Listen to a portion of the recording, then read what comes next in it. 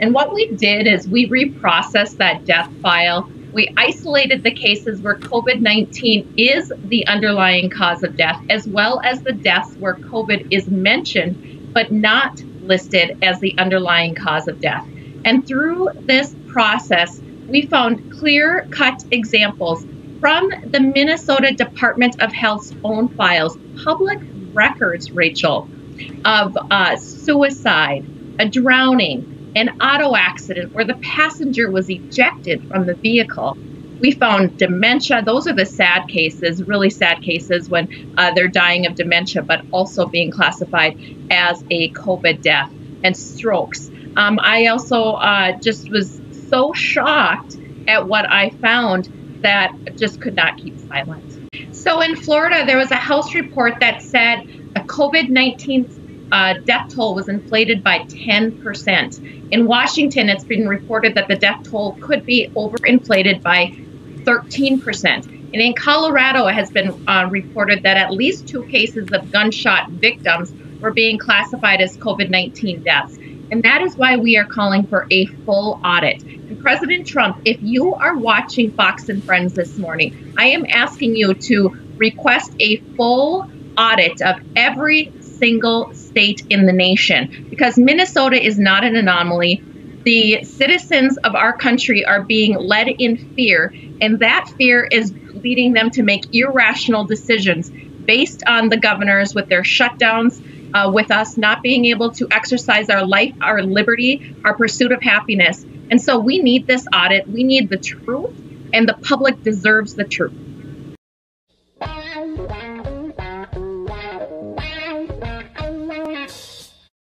Welcome back to Fox and Friends. Two Minnesota lawmakers are calling for an audit of coronavirus deaths in the state. They raised the alarm after reviewing data from nearly 3,000 death certificates, and they found that 800 of those counted as a COVID death actually didn't have COVID as an underlying cause of death. Joining me, joining me now are Minnesota state lawmakers Mary Franson and Scott Jensen, who is also a practicing physician.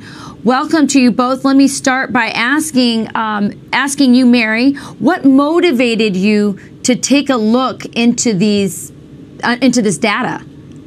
Uh, thank you. So, some concerned citizens came forward and they actually had uh, the death files from the Minnesota Department of Health that they had purchased and asked me to take a look at what they were seeing. Uh, there was a lot of data so I enlisted a team of some pretty smart people to look at it, including Dr. Jensen. And what we did is we reprocessed that death file. We isolated the cases where COVID 19 is the underlying cause of death, as well as the deaths where COVID is mentioned but not listed as the underlying cause of death.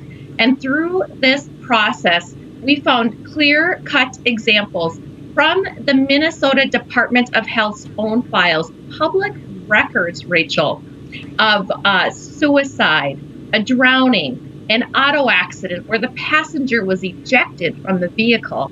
We found dementia. Those are the sad cases, really sad cases when uh, they're dying of dementia, but also being classified as a COVID death and strokes. Um, I also uh, just was so shocked at what I found that just could not keep silent. So, who, who's directing that these deaths be counted in this way? I mean, who's who's how is this happening that this data is being being so corrupted? Where's the direction coming from? Well, thank I think that's a good that. question for doctors. Yeah.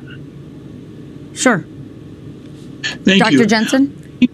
If, if you go back to April last year, this, this past year, you'll see that the Department of Health and the CDC were both putting out advice and instructions to go ahead and use COVID 19 in a more casual manner than we've used before.